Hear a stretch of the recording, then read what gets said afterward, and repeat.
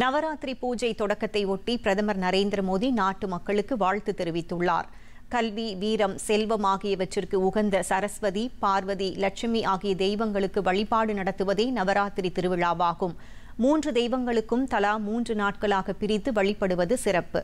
அந்த வகையில் நவராத்திரி பூஜை இன்று தொடங்குகிறது. இதையொட்டி பிரதமர் நரேந்திர மோடி வெளியிட்டுள்ள தமது சமூக வலைதள பதிவில் இந்த புனித திருவிழா அனைவர் வாழ்விலும் மங்களத்தை கொண்டுவரட்டும் என கூறியுள்ளார்.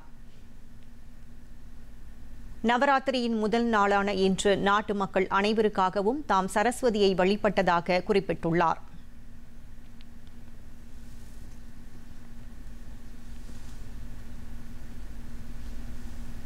தில்லியில் உள்ள ஜண்டவளன் மாதா கோவிலில் சிறப்பு பூஜை நடத்தப்பட்டது. ஹரியானாவில் உள்ள பீமேஸ்வரி கோவிலில் நடைபெற்ற சிறப்பு பூஜையில் ஏராளமான பக்தர்கள் பங்கேற்றனர்.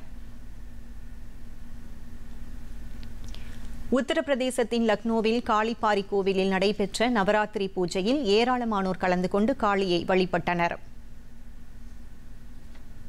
மகாராஷ்டிராவின் மும்பை நகரில் உள்ள மும்பா தேவி கோவிலில் நவராத்திரி திருவிழாவை முன்னிட்டு சிறப்பு பூஜை நடைபெற்றது.